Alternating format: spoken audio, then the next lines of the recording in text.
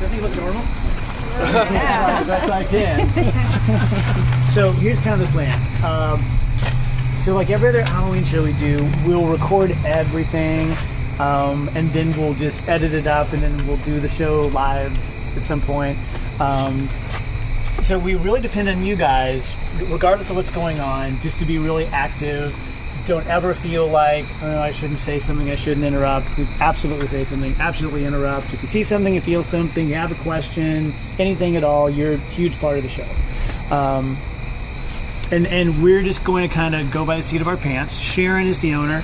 She's going to tell us the story. They've owned this for about 20 years, so they know everything about the McPikes and the hauntings and the ghosts and everything. And then we're going to be doing an investigation. Doc obviously has his cameras. And, uh, then what we do, kind of like Ghost Hunters, the show if you've ever watched we go back over the next few weeks and we look at everything, we listen to everything, see what we caught, if anything, and then we present the show that day. Um, which will probably have you guys come down and be on the show itself too. Any questions? Anything at all? Initial feelings? Yeah. Good. Oh, Perfect. there you go. The more you throw up, the better. Absolutely. Yeah, That's right. she's been very quiet all You can hold that for us. That's Good radio. Jim, are we all good in recording and everything? Timmy, why don't you come on over here, Okay. just so we can get the ladies. Are we doing it right here? Or are we going to go up to the? Just for right now, we're just going to get introductions. Okay. Yeah, gotcha. So again, this is uh, for use in the show. So we're here at the McPike Mansion in Alton, Illinois, and we have our three contestants here. So I'm just going to have them one by one just introduce yourself and just a little bit about why you're here. You want to go first?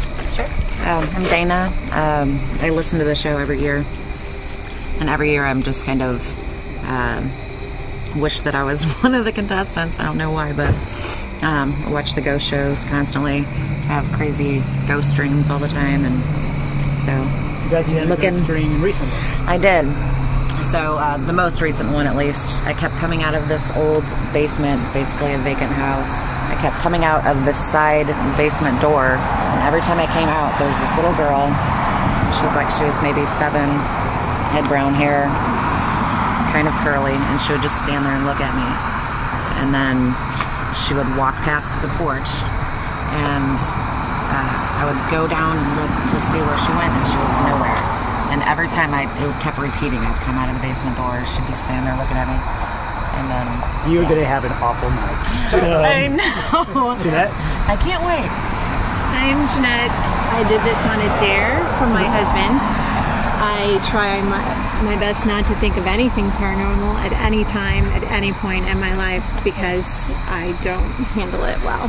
I'm so really happy to be here. You're going to have a worse night than Dana. Donna? I'm Donna, and I'm doing it because me and my girlfriend wanted to do it together. And since she didn't make it and I did, here I am, and I wish I wasn't. Perfect. Um, all right, well, let's make our way around the house, and uh, we'll introduce you to Sharon, and then she'll take you down to the hedge, which she says is her least favorite spot here, uh, and where she kind of likes to tell the story. She feels the most uh, sensitive down there. So follow me, and we'll we'll head around and show you around the place.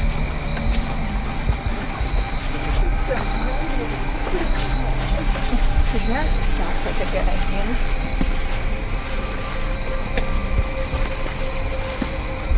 So initial impressions of the house, the manor, the mansion. It does look haunted. Yeah, if you're going to shoot a horror movie and you built it from scratch, you couldn't do much better than that. Especially with seven windows are knocked out. Yeah.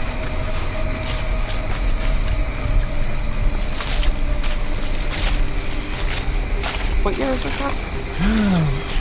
Jerome, do you know what year this is? I'm not house walking first, so. Then I, I find out you have a hard time. is? 1869.